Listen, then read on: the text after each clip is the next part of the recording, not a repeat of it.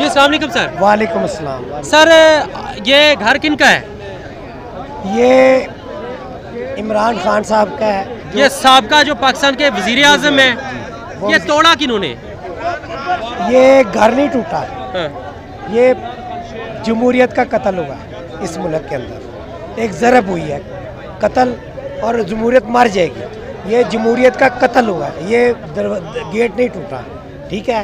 और ये जिन्होंने तोड़ा है, उनकी सोच को मैं दाद देना चाहता तो क्या कहूँ, या वो बिल्कुल ही बेअकल हो गए हैं कि ये सिर्फ़ छोटी बात नहीं है, ये कल कुला मुल्क भी टूट सकता है। ये मेरे अल्फाज याद रखना कि एक ऐसा शख्स, ये सिर्फ़ इमरान खान नहीं है, एक ऐसा शख्स जिसने अपनी ज़िंदगी के 20 साल इस मुल्क के परचम की सरबुलंदी के लिए दुनिया के मैदानों में अपना खून पसीना पाया।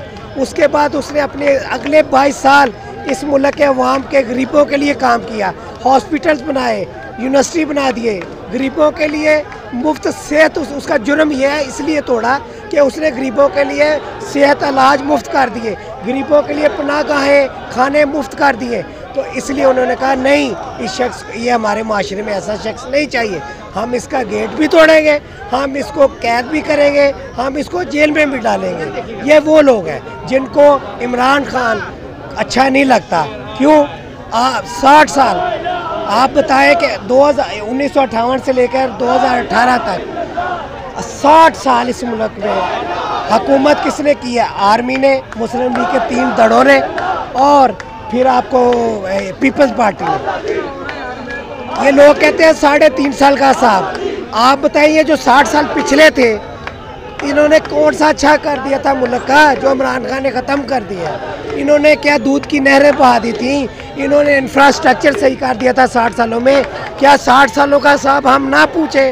आप मुझे बताएँ कि हमारी टैक्सेस से सैलरीज हर चीज़ की सैलरी लेकिन मैं फिर भी कहता हूँ, एक मैं पॉजिटिव नोट पे ख़त्म करना चाहता हूँ अपना बात। मैं फिर भी कहता हूँ कि सब स्टेक होल्डर्स को बैठ जाना चाहिए। खुदा के वास्ते इस वक्त मुल्क बहुत नाजुक हालत से गुजर रहा है। आवाम के अंदर बहुत बेचैनी आ गई है, बहुत गुस्सा आ गया है। अब सबको मिल बैठ के इस मुल्क का और आवाम का सोचना चाहिए। अगर आवाम चाहती है इलेक्शन तो खुदा के वास्ते इलेक्शन करवा दें। अवाम अवाम का आप क्यों नहीं बात मान रहे? अवाम की आप क्यों नहीं बात मारे? अगर अवाम आपकी सर्वे करवा लें, अगर अवाम की 50 परसेंट से ऊपर भी कहती है ना इलेक्शन करवा लें तो आपके you should go for the election ताकि अवाम अपने नुमाइंदे चुने। एक ताकतवर जमहूरी हुकूमत आए और इस मुल्क के फैसले अवाम करे, ना कि कोई दूसरे मुल्क करे, ना कि कोई और कुतें करें। इस मुल्क के फैसले अवाम करे। अब ये वक्त आ गया कि इस मुल्क के फैसले जो है, अवाम करें। चले जी, बिल्कुल जी। एक दफ़ा सैयद अली गिलानी ने कहा था कि उठो, निकल के बाहर देखो, आपकी जमहूरियत का जनाजा निकल रहा है। निकल के बाहर देखो, आपकी जमहूरियत का जनाजा निकल चुका है। अल्लाह निगेबान